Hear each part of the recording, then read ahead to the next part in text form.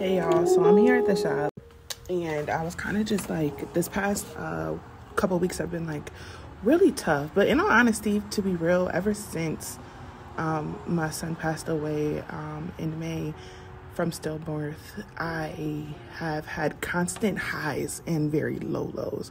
So it's weird for me to say like these past couple weeks because it feels like every month there's a couple weeks where I'm really really low and then you know I'll feel better for like maybe a couple days or maybe a week if I'm blessed and then it'll go right back down right? So with all that being said like whatever. So um when but this past week in particular I've been really like um kind of like mourning who I used to be um before this all took place. Not saying that I didn't ever doubt God or not saying that I didn't ever have lack of trust or even be angry at God before but I have to be honest in saying that it's, you know, it's, um, I've been struggling um, this past week, like I said, with just missing who I used to be, right? And so I was thinking, like, dang, Lord, like, will I ever be that person? And it's kind of like I had like a visual, like a vision of, from the Lord. And um, it basically was like the vision of like a tree, and then it was like a huge hurricane, and the tree severed, right? And then it's kind of like I saw one leaf cascade down. And but on the leaf, it looked as if there were like seeds on it. And I saw, you know, kind of like the sped up version from that one leaf, a new tree coming out. And I feel like from that vision, God is just basically telling me that, like, yeah, what took place really, really hurt. And at times it feels like it broke me. Like, broke me you know? And I'll be real at times, I don't feel like I'll ever be the same person. Ever. And I try so hard to be strong.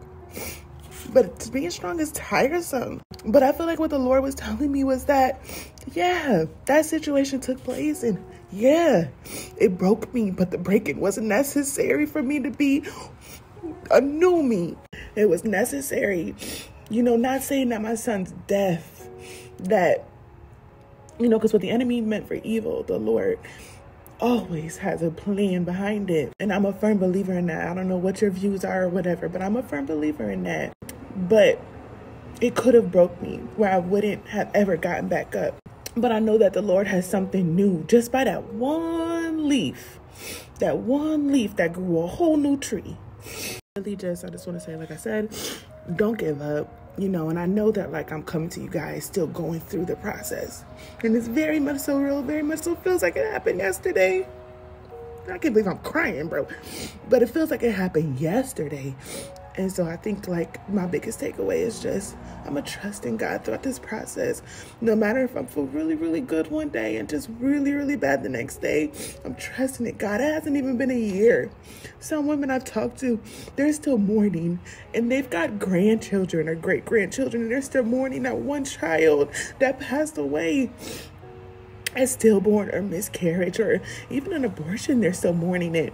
So I have to give myself grace. But I just love that visualization that God gave me of the one leaf that created a whole new tree. So I'll be a brand new Marissa. I'm not going to be who I was. And yes, I could mourn who I used to be and my outlook on life and my, you know, zeal for life at that time.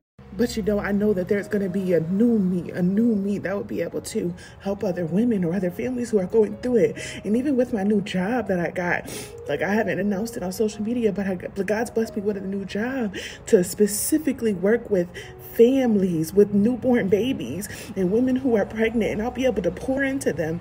So I know that God has a new thing for me, and I'm going to be a new Marissa who's going to be able to pour on people from a place of who I am now than from the place of who I used to be. So that's my that's my thing. I'm always preaching, don't give up, hold on. But I mean that. I don't say it, you know, just to say it. I say it because I'm living through it. And I'm actually a testament of, of the strength of God. You know? So, you know, be blessed. Be blessed. Love y'all.